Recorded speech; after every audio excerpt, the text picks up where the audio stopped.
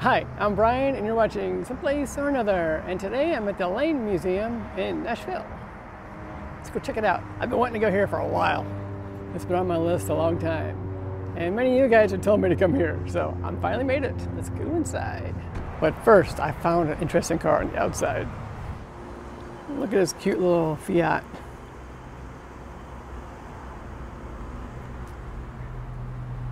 Neat, right? Okay, where to start?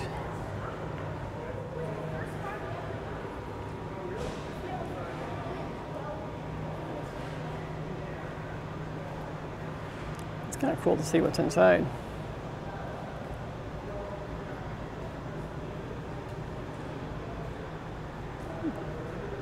I'm signed up for all kinds of cool things. We get to go in a vault today, and we get to go for a ride. Pretty cool. All right, let's finish looking around.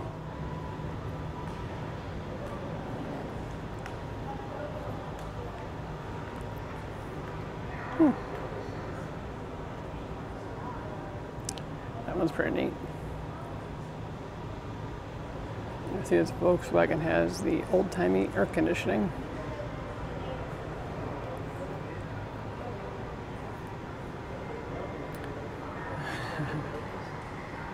That's what they call that. Oh, this explains all about it. I'll give you a minute to hit pause if you want to read on it. Yep, minute's up.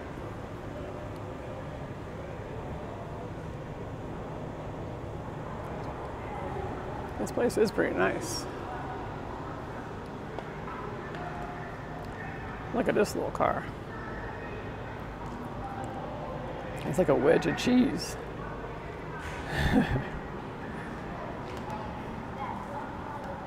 Seventy-seven Urba.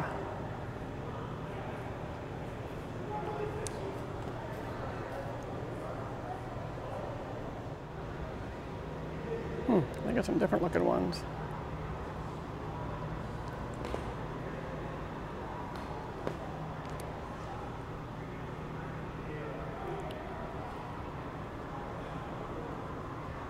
Nice.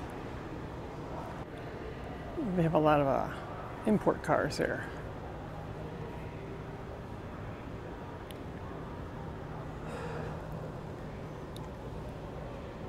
That's nice. That's also a Lotus. Oh, check this out.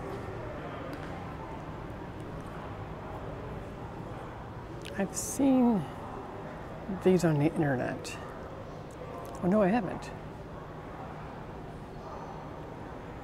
I think that seat folds up. I think the theory was you can put this in your trunk of your car. Interesting theory.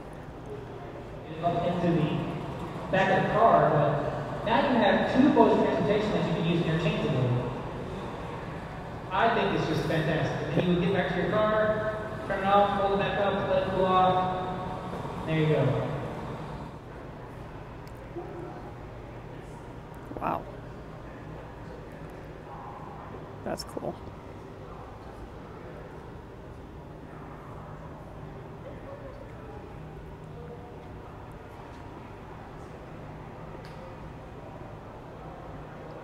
One that actually propels it.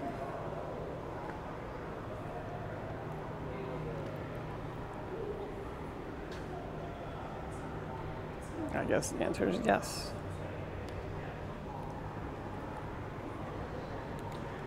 Wouldn't want to get caught in a light behind this guy.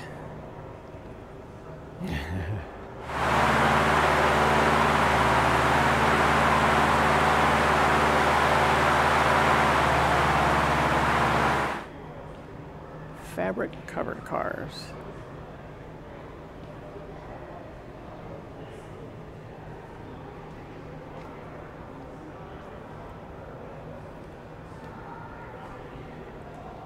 That is. That is wild. I wonder why.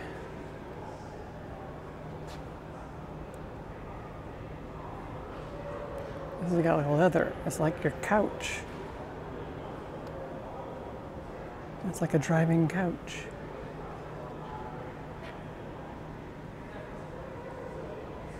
That's crazy. Look at this little guy. Oh, that's pedal powered.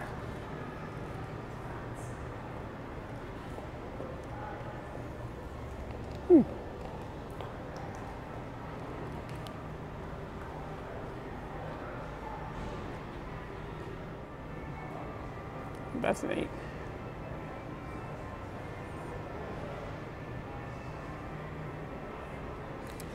Check out more fabric covered cars.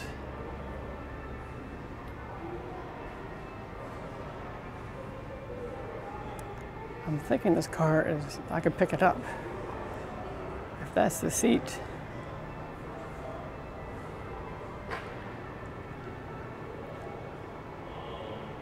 Uh, there's a lot of different cars here. All the ones that I've not seen before. Hmm, Can't sit in this one. It says so on the sign. Honest. Right there. See, even though it looks comfy, no sitting.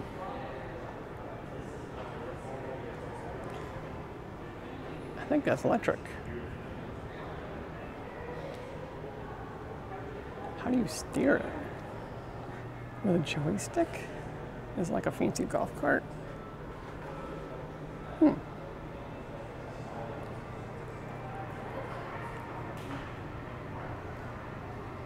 So by the 30s, fabric covered cars were becoming scarce. Hmm. I didn't know they even had fabric covered cars. That is just wild. Kind of like an airplane, but like an airplane in a sense. I'm not sure. Yeah, they usually make a frame on an airplane and they cover it with fabric or most planes are covered with like aluminum. This one's pretty good size. I totally want to touch it, but I won't.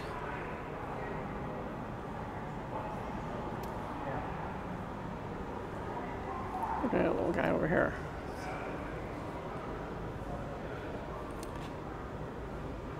It's from 29.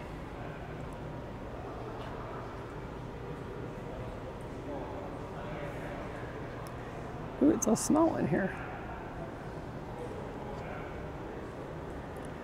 It's making it small. Look at this one. It's got no floor, but you can pedal.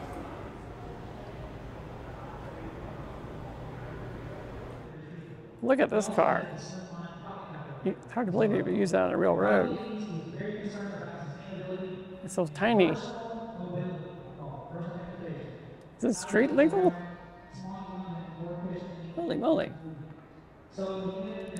Oh, shoo, good thing.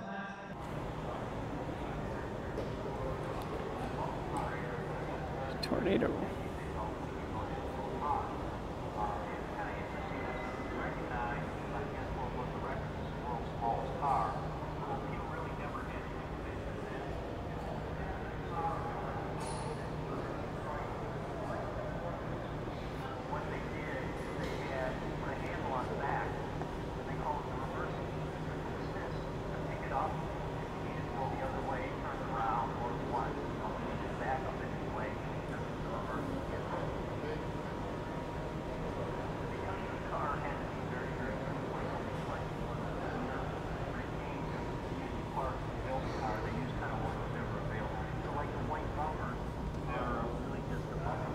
Oh,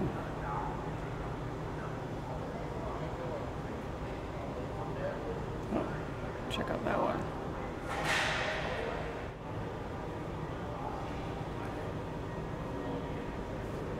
Looks brand new.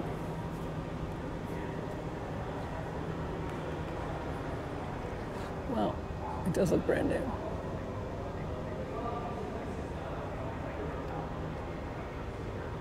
Hmm. This is a 2014, I'm assuming electric car. from Volkswagen. So Fiat, 1953 Fiat C-Van. Hmm, I'd love to get 46 miles per gallon.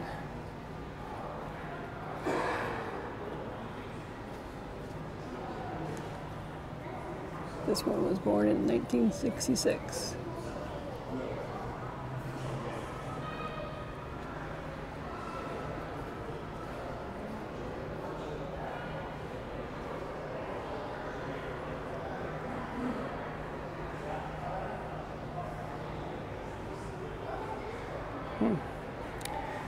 New ones do look a little like the old ones. Much larger.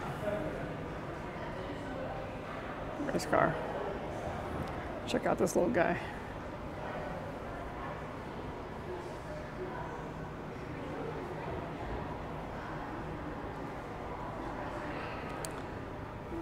Go anywhere philosophy.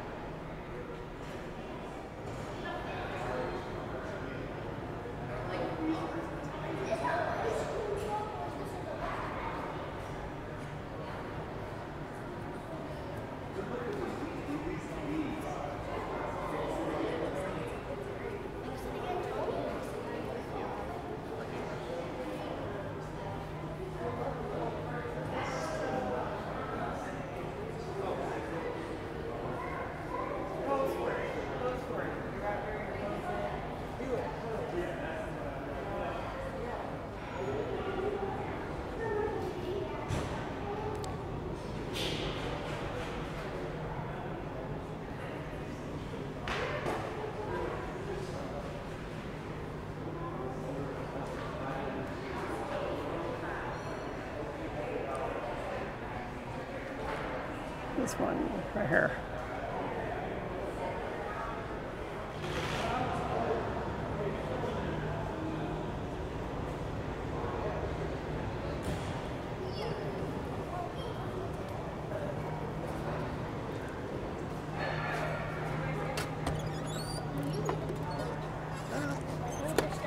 Ah, ooh.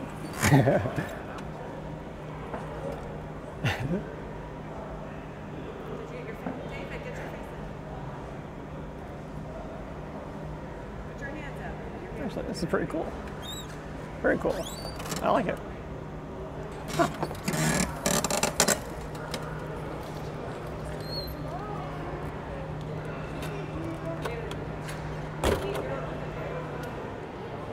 See, this is what you need right here.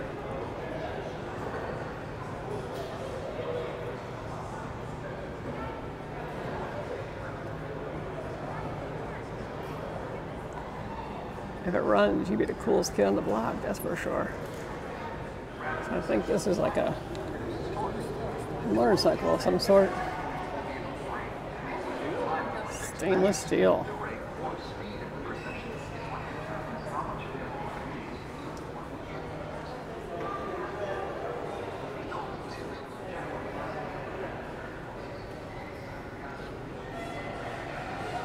It's got a really neat collection. Some of these cars look familiar. Like, I think I've seen some of the versions, like these two here. I feel like I've seen an RV with that body style.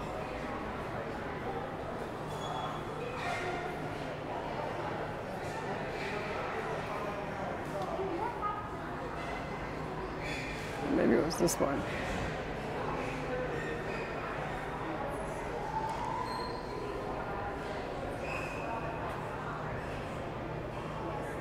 Yeah, you know, I think I might have seen this one. This is a 45 Streamliner. That's this one. Oh, see if I can see the engine. Suspension. Power plant. That one was made in 54. It's a Hoffman. Well, got that wrong. That one was made in 51. At least I pronounced the name right. Hoffman.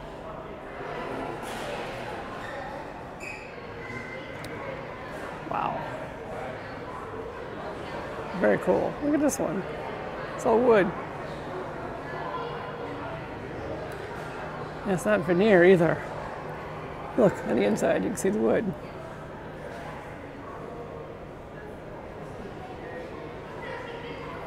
Okay. Let's go back to this car. I think normally it runs on two wheels, and then the other two drop when you're stopped.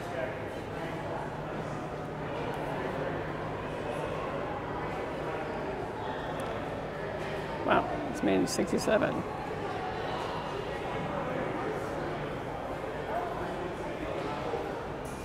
Hmm. That's interesting. Wait. Wait a minute. How's this thing powered? Oh. Rear engine. That is the gyro. Right here. It's a gyro. You keep it upright. Wow. Huh. That means when it stops, it probably don't need to put feet down. Whoa. diameter, weighing 230 pounds and rotating at 3,000 revolutions per minute. The flywheel, with an integrated axle, is sandwiched between two halves of a housing that support the flywheel spin axis. This is called a gimbal housing. At the top and bottom of the gimbal housing, two support flanges are installed. These support flanges allow the gimbal housing to pivot. The axis created by this pivot point is called the gimbal axis. Once the gimbal housing is installed in the spherical support housing, there is a narrow band within the gimbal axis, about 60 degrees total movement from left to right, where the flywheel can be controlled to make corrections in the balance of the vehicle. Wow. With the sphere assembled, the unit is mounted in the vehicle frame. That's a complex setup. This might be the fastest toolbox on the planet.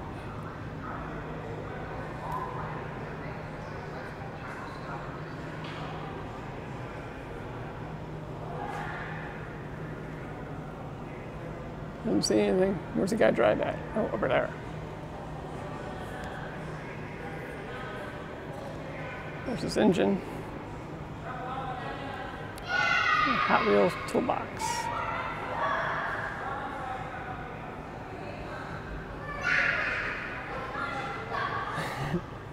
Here we go.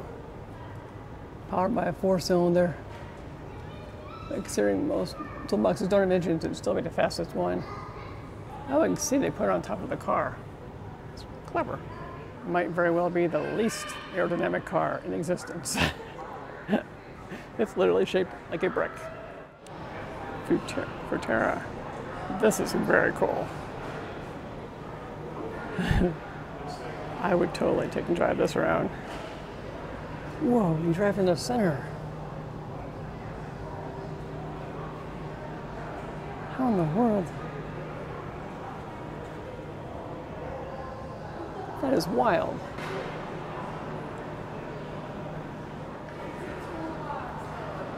It's like driving an airplane.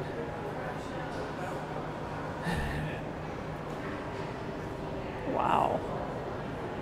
That is insane. That's cool too. So many unique ideas. Oh, see inside. I'm so easily distracted. So many unusual cars.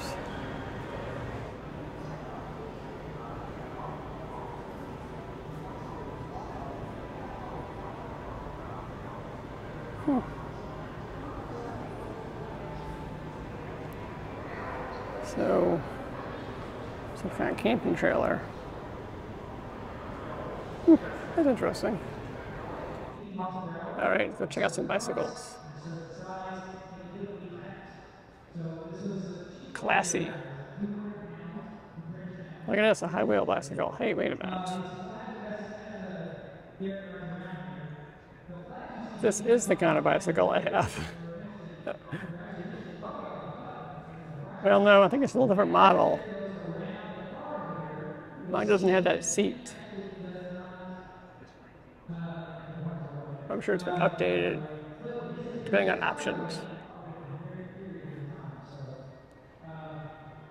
Schwinn. I was one of these when I was a kid. Of course, never got one, but I was wanting one with a shifter.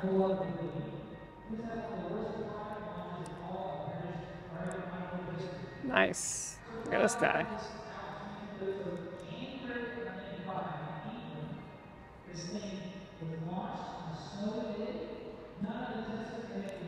The perfect tandem. You don't have to worry about the guy in the back not pedaling. You got a little help. Interesting collection. A little folding bicycle. Get where you're going, put it together. Oh, it's a Bike Friday.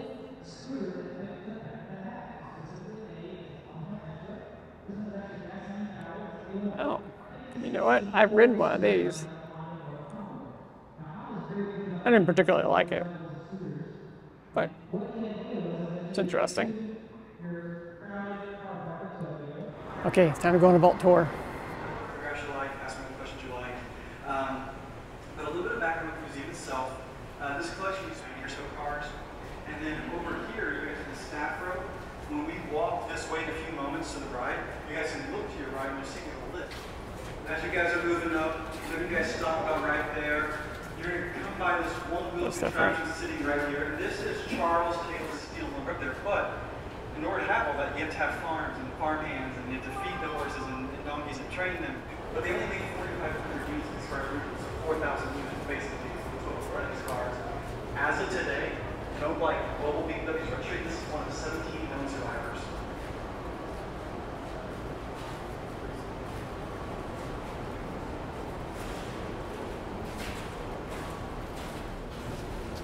You're going to be a, see a big silver bullet looking car right here, or a streamline car. This is a McQuay Streamliner, and Mc- I think this participated as you guys are walking up, you're going to see a green and white Saab right here. Maybe Saab enthusiasts. This is a really special little car. This is a Saab 9. This one's a one of a kind. That's an amphib- uh, lighter amphibious resupply cargo. It's a, a cargo vessel built for the Vietnam War. It's used to carry things like tanks and heavy military equipment. Stop all in two and a half seconds. This car is absurdly fast. Think about the performance in 1980s. This is an extremely fast.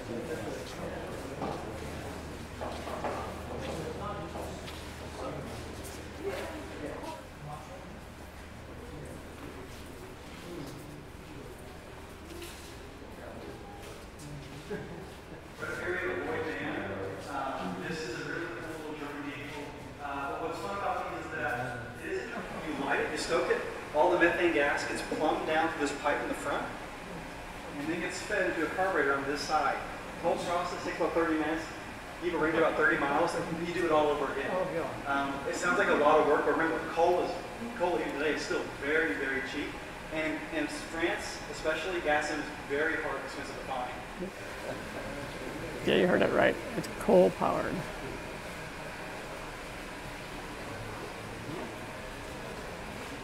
So right up here on the rack, we have a red shell. I get too close. Uh, all right, so, well, welcome everyone. I hope you enjoyed the uh, vault tour. How many people have heard of a gentleman named Ralph Nader? Get ready to go for a ride. Thank you.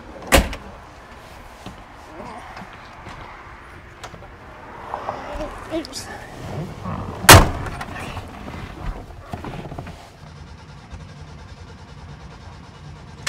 vapor lock.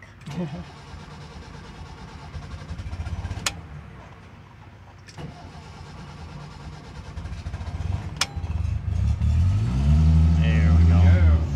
Doesn't like sitting in the heat. Imagine that. So this is a version of the the Fiat 600 was really the kind of the bigger people's car of Italy in the 60s. And this was kind of the version that was either a taxi cab because there was two more seats there so you could seat six people or a lot of people used them for small businesses to like flower shops and stuff to carry a little bit of cargo around because you put you could put all the seats down and then it's got the two big side doors you know you could load and unload cargo very practical.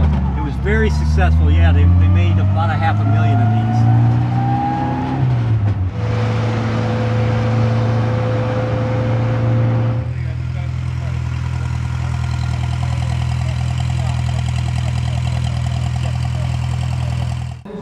Back inside. That was very cool. It's so small, but roomy inside. Let's go check out some motorcycles.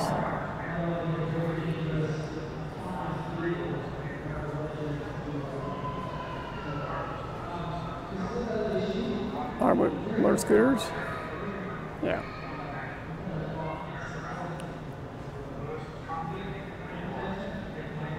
Hmm. I bet that's fun.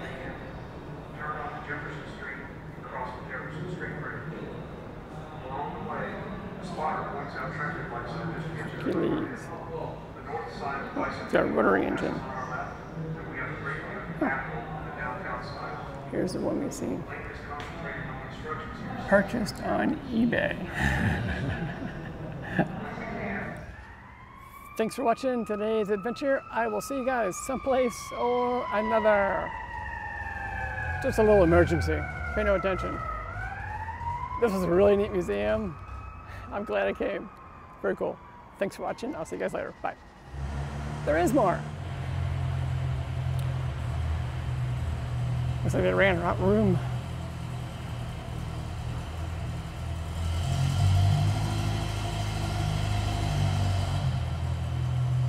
We'll just do a quick walk around.